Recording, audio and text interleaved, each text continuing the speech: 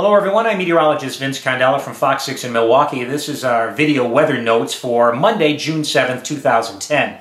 Yesterday on Sunday we had some showers and thunderstorms in our area with some interesting hail.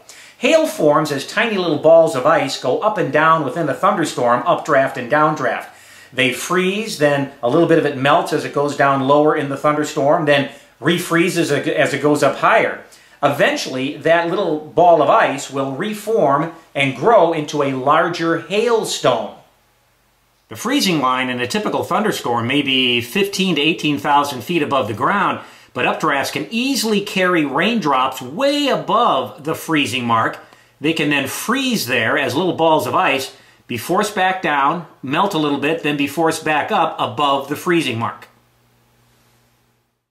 Here's an interesting cross section of a hailstone. You can see the individual lines here where the hailstone melts a little bit, then refreezes and melts and refreezes and grows like the growth rings on a tree.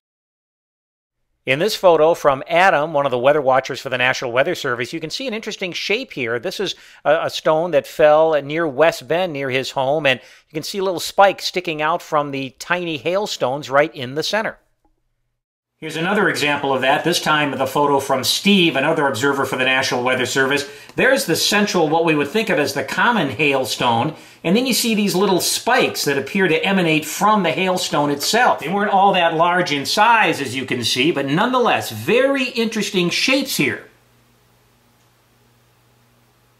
Now these interesting shapes of hail that formed uh, yesterday, uh, Sunday, uh, June 6th, may have formed because of multiple uh, small hailstones uh, attaching to each other. And as they did so, they grew these very interesting and unusual shapes. So it's not the kind of thing that we see every day here in southeast Wisconsin, but certainly uh, noteworthy nonetheless. Thanks for watching the video Weather Notes. Hope to see you on Fox 6 News.